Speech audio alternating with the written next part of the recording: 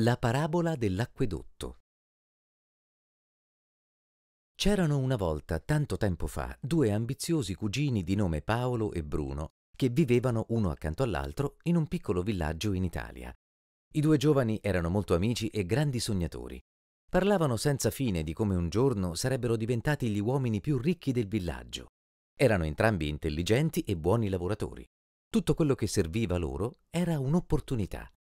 Un giorno quell'opportunità arrivò.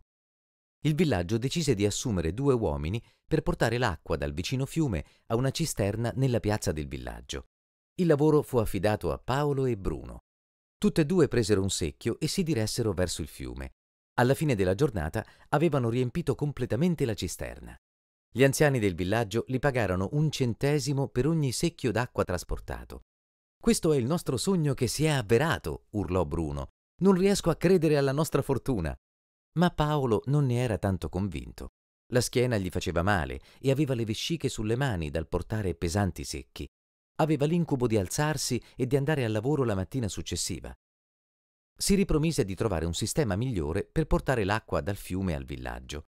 Bruno, ho un piano, disse Paolo la mattina dopo, mentre prendevano i loro secchi e andavano verso il fiume. Invece di portare i secchi avanti e indietro per qualche centesimo al giorno, costruiamo un acquedotto dal fiume al villaggio. Bruno si fermò impietrito. Un acquedotto? Non si è mai sentita dire una cosa simile, urlò Bruno.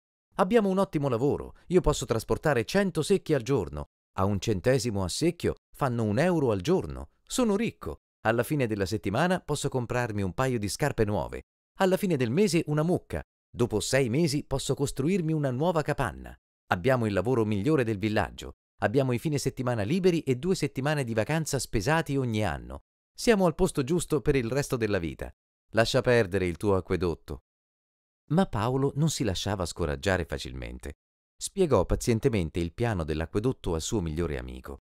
Paolo avrebbe lavorato parte della giornata trasportando secchi e l'altra parte della giornata e i fine settimana a costruire il suo acquedotto. Sapeva che sarebbe stato un lavoro pesante scavare un fosso nel terreno pietroso. Siccome veniva pagato per ogni secchio d'acqua, sapeva che all'inizio il suo reddito sarebbe calato. Sapeva anche che ci sarebbe voluto un anno, forse due, prima che il suo acquedotto generasse dei grossi guadagni. Ma Paolo credeva nel suo sogno e si mise al lavoro. Bruno e gli abitanti del villaggio cominciarono a prendere in giro Paolo, chiamandolo Paolo l'uomo dell'acquedotto. Bruno, che guadagnava quasi il doppio di Paolo, sfoggiava i suoi nuovi acquisti. Comprò un asino con tanto di sella nuova in pelle che teneva legato fuori dalla sua capanna a due piani. Comprò vestiti vistosi. Mangiava cibi pregiati alla locanda. Gli abitanti del villaggio lo chiamavano signor Bruno e lo acclamavano quando offriva da bere alla taverna e ridevano di cuore alle sue barzellette. Mentre Bruno riposava sulla maca le sere e i fine settimana, Paolo continuava a scavare il suo acquedotto. Nei primi mesi Paolo non vedeva i risultati dei suoi sforzi. Il lavoro era duro, anche più duro di quello di Bruno, perché Paolo lavorava anche la sera e i fine settimana. Ma Paolo continuava a dirsi che i sogni del domani si costruiscono col sacrificio di oggi Giorno dopo giorno scavava un centimetro alla volta. Centimetro dopo centimetro è facile, canticchiava a se stesso mentre affondava il piccone nel terreno pietroso. I centimetri diventarono un metro, poi dieci metri, poi venti metri, poi cento. Il dolore a breve termine porta guadagni a lungo termine, diceva a se stesso mentre barcollava fino alla sua umile capanna, esausto per un altro giorno di lavoro misurava il suo successo fissando e raggiungendo i suoi obiettivi quotidiani, sapendo che nel tempo i risultati avrebbero di gran lunga superato i suoi sforzi. Tieni gli occhi sul premio, ripeteva a se stesso continuamente, mentre scivolava nel sonno accompagnato dal suono delle risate proveniente dalla taverna del villaggio. Tieni gli occhi sul premio. E si addormentava. I giorni divennero mesi. Un giorno Paolo si rese conto che il suo acquedotto era a metà finito quindi voleva dire che doveva fare metà strada per riempire i suoi secchi. Quindi Paolo impiegò il tempo che risparmiava per lavorare al suo acquedotto. Il giorno del completamento del lavoro si avvicinava sempre più rapidamente. Durante le pause di riposo di Paolo, guardava il suo vecchio amico Bruno trasportare i secchi. Le spalle di Bruno erano sempre più incurvate, era ingobbito dal dolore, i suoi passi rallentati dalla fatica quotidiana. Bruno era arrabbiato, imbronciato, risentito dal fatto che era condannato a trasportare secchi, giorno dopo giorno, per il resto della sua vita.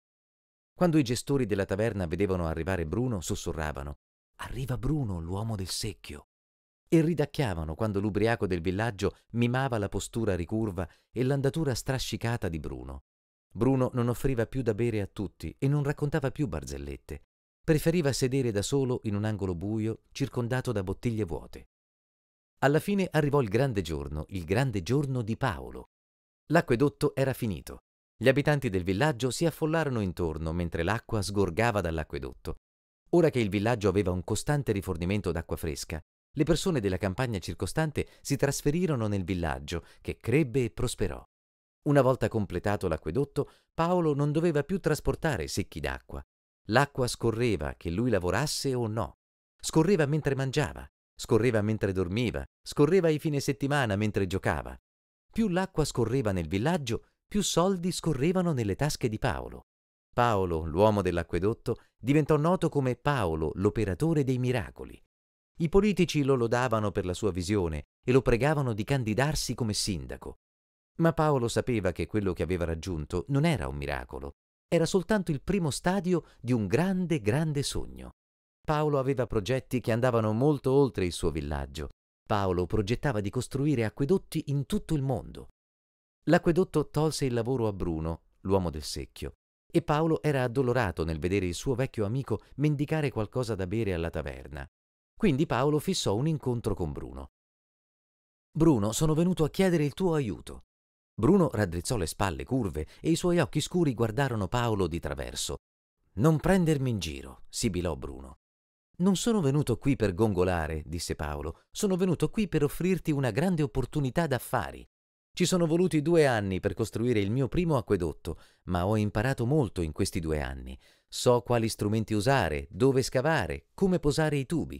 Ho preso appunti mentre procedevo e ho sviluppato un sistema che mi permetterà di costruire un altro acquedotto, e poi un altro, e poi un altro.